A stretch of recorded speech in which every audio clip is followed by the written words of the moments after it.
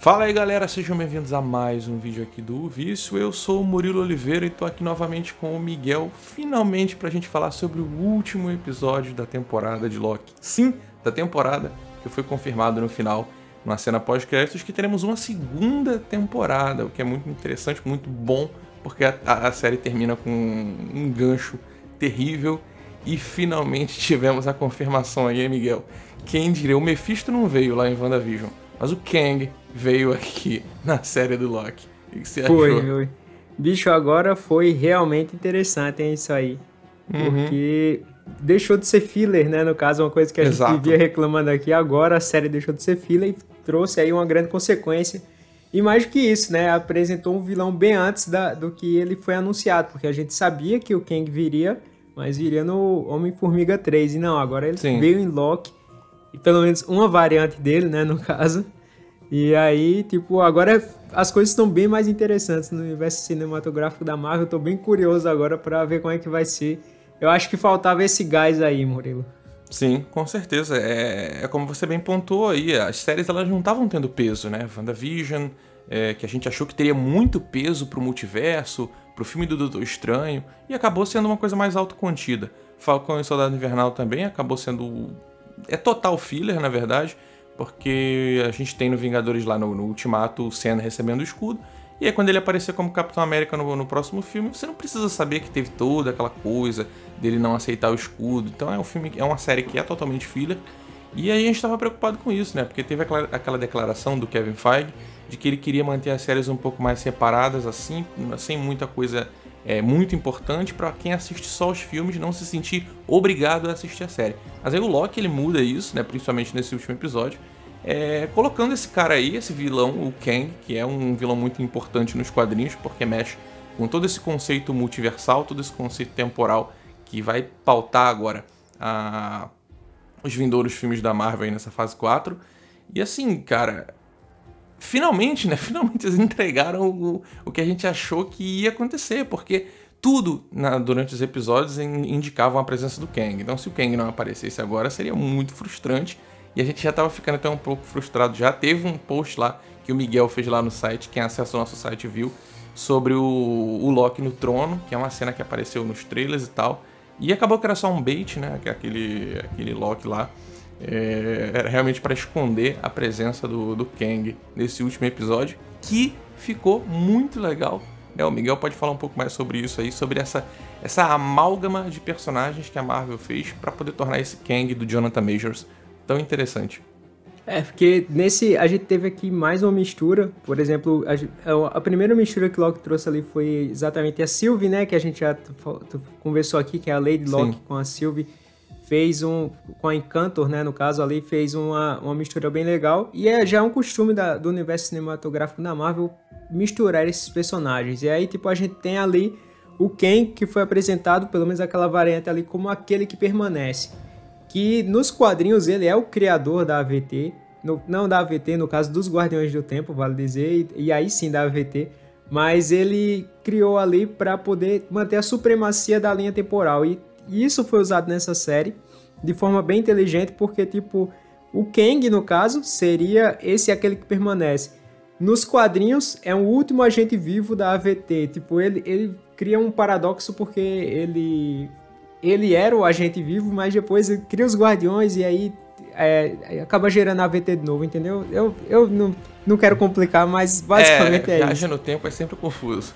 Então, exatamente. Mas aí, agora aqui a gente tem isso. No, é, essa, essa variante do Kang, ele fez a. ele dominou a Lyle, venceu a guerra multiversal, vencendo os outros, as suas outras variantes, inclusive uma variante que foi que começou tudo lá, que era um cientista do século 300. É, em suma, eu acho que todos eles são do século 300, né, no caso. Do já que são variantes 30, do... século 31, no caso. É, século 31. É, desculpa aí, século 31. eles eles estão lá, estão lá basicamente são todos os, os, as variantes são do mesmo século. E aí eles começaram a guerra multiversal para dominar a, os, as outras terras. Aquele foi o que sobrou porque ele dominou o Alioth, descobriu o Alioth, usou ele como arma, venceu as outras variantes e aí criou um jeito de manter uma linha temporal em que ele fosse a única variante. Então, tipo, Sim, o plano ele, dele ele meio- isolou, né? Ele fala que ele isolou ali aquela linha do tempo. Exato. E aí, tipo, ele, ele agora tava livre de, de, de interferências de outras variantes e também de surgir outras variantes naquela linha do tempo que ele tava. naquelas realidades que ele tava cuidando, né, no caso. Então, tipo, todas as interferências dele, assim, pelo menos, basicamente, era também para impedir que surgissem outros, outras pessoas, outras variantes dele para dominar aquele, aquele, aquela linha temporal e até aquela realidade quando o Loki, quando o Sylvie mata o, o- aquele que permanece, aí a gente vê as linhas temporais ramificando e tudo mais. Claro que instantaneamente ali é, faz parte do roteiro, vale dizer, mas é, a- deixa de ter a interferência dele e aí a gente tudo começa a, a criar um multiverso, né, de fato. Sim, E é agora o, a gente- o que a gente esperava tanto, né? A questão do, do multiverso, isso foi muito debatido em WandaVision. A gente esperava muito que o WandaVision trouxesse, porque a Wanda Maximoff, a Elizabeth Olsen, ela tá confirmada no, no filme do Doutor Estranho, que é Doutor Estranho no multiverso da loucura. Doutor Estranho, que é um personagem que também vai aparecer no filme do Homem-Aranha, que tem todos esses rumores de Aranha-Verso, com Tobey Maguire e Andrew Garfield e outras versões do Homem-Aranha, enfim. É, então, a gente esperava que em algum momento esse multiverso precisasse ser apresentado, porque esses filmes estão aí batendo na porta. E aí, finalmente, nós tivemos aí pela primeira vez, a- de uma forma muito concreta, né, a- o multiverso ali, de uma forma até bem didática, porque essa versão, essa variante do Kang, ele coloca ali o aquele negocinho lá que sai do pulso dele e apresenta de uma forma bem didática ali a história. E o que eu acho curioso, Miguel, que é uma coisa até que você estava falando ainda agora antes da gente começar a gravar, é que é basicamente um episódio de três pessoas conversando.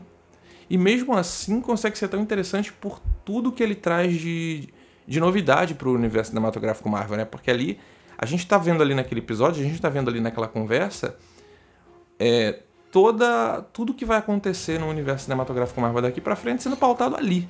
Né? É, é- é- é basicamente um briefing da fase 4 sendo feito ali na- com os personagens na, na nossa frente. Então, assim, e o Jonathan Majors também mandou, mandou muito bem no, no papel ali dessa, dessa. Não sei se eu posso chamar de Kang, de, de mortos, de, de variante, enfim. E agora É. a gente tem um Pode problema chamar aí, que né? quiser, né? Como ele disse mesmo, ele tem muito nome, Exato, tá tranquilo pra exato. ele. Exato. Ele surtadaço ali, bicho. Então, tipo, é, possivelmente, assim, quem for reclamar dessa atuação dele pelo jeito que ele tá muito é, despojado, por assim muito dizer. afetado, né? Muito É, não, não dá pra esperar que ele seja assim nas outras, nas outras atuações, porque Sim. a gente vai ver variantes dele, vai ver outras versões dele. E, tipo, com certeza a gente vai ver outras bem com personalidades bem diferentes. Inclusive, essa aqui vai ser o Kang de fato, que a gente vai ver aparecer.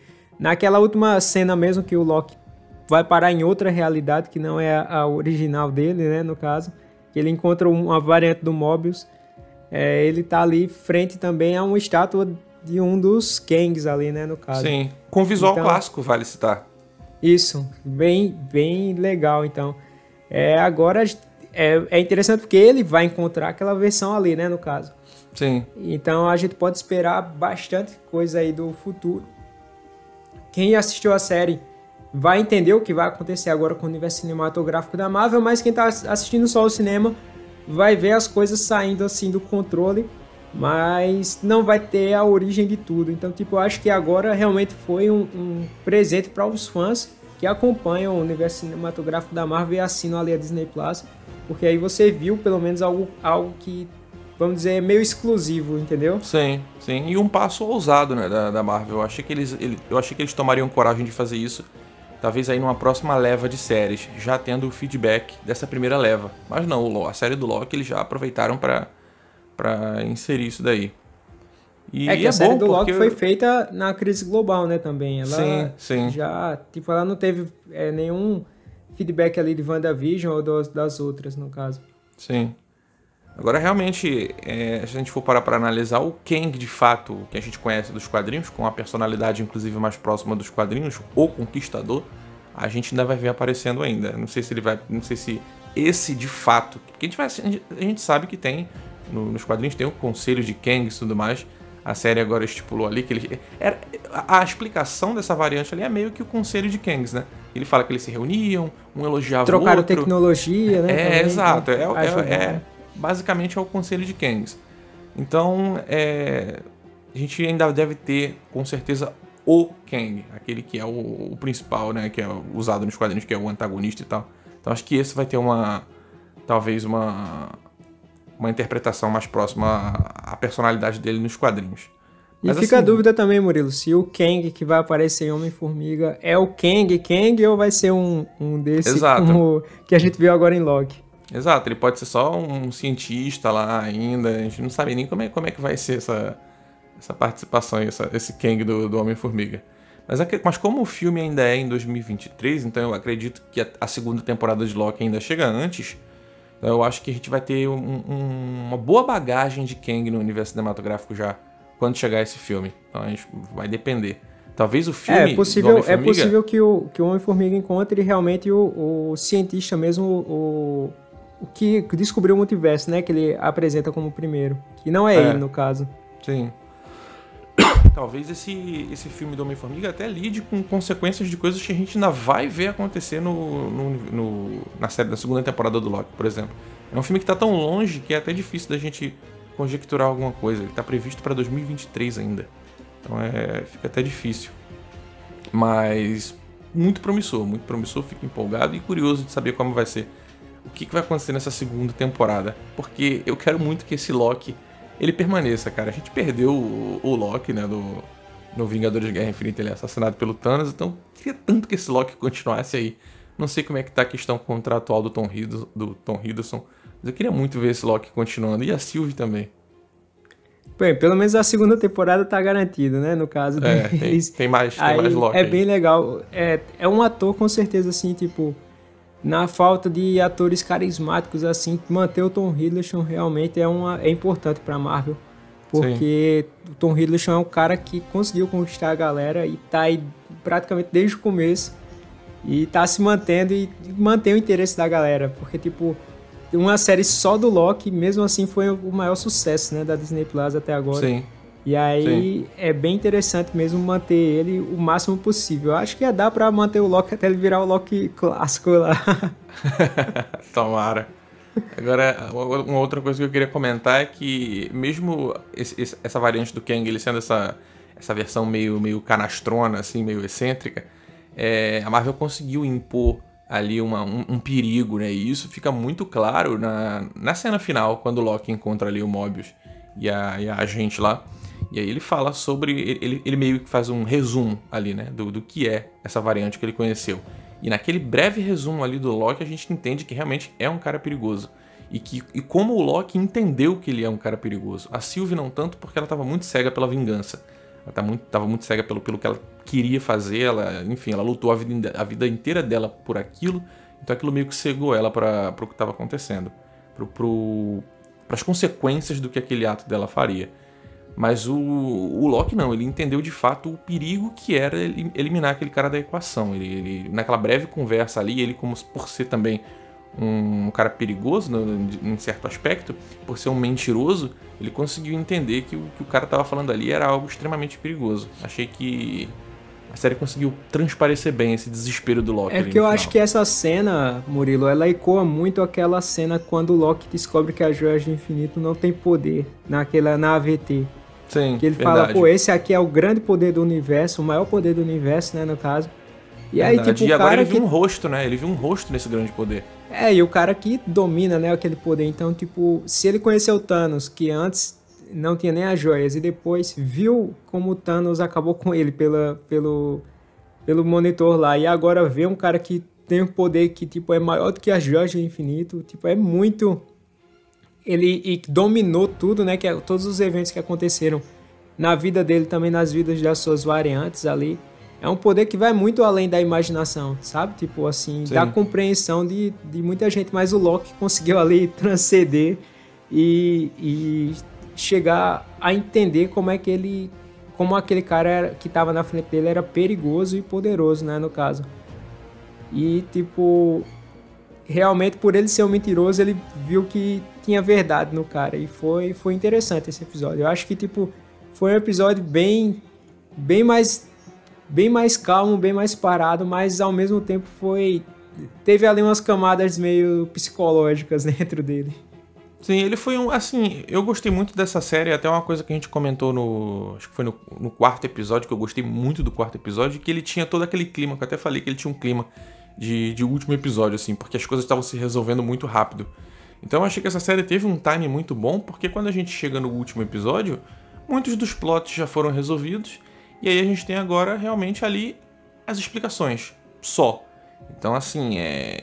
Mesmo a gente sabendo que vai ter uma segunda temporada eu achei que é uma série muito. Ela tem um ritmo muito bom, os episódios muito bem dosados, as, as coisas que acontecem nos episódios de forma muito bem dosada, pra gente chegar nesse último agora e a Marvel se dá o luxo de fazer isso. De colocar três caras sentados conversando, três pessoas sentadas conversando. Então, é uma série que tem realmente um, ritmo muito bom e ela vai te dando doses de respostas de um, em um ritmo também muito bom. Assim, é, é, no caso ela não teve aquela barriga que a gente reclamou não só das, das séries da Netflix com a Marvel, Exato. mas também das, da própria da WandaVision e do Falcão que a gente disse, ah, teve um, um episódio aí que não teve nada. E tipo, é. em Loki não. Eles souberam usar os seis episódios e tipo aproveitar bem o tempo de cada um deles e sempre adicionar uma coisa interessante, entendeu? Sim. Eu acho que essa é a primeira série do, do universo cinematográfico Marvel que eu dou um 10 tranquilamente. Minha nota pra, pra temporada inteira é, é o 10. Não, não tem como ser uma nota diferente, não. Pela primeira vez, é. WandaVision, WandaVision acho que eu dou um, um 7 ou 8. Falcão e Soldado Invernal, acho que eu dei essa nota também, se não me engano ou foi 9, porque eu fiquei com raiva do, do Barão Zemo.